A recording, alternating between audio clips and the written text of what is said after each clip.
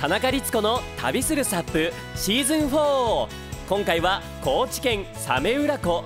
四国最大のダム湖は年間を通してウォータースポーツが楽しめる人気のエリア。雄大な景色を堪能します。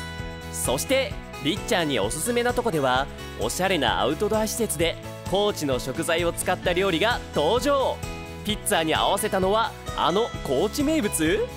お楽しみに。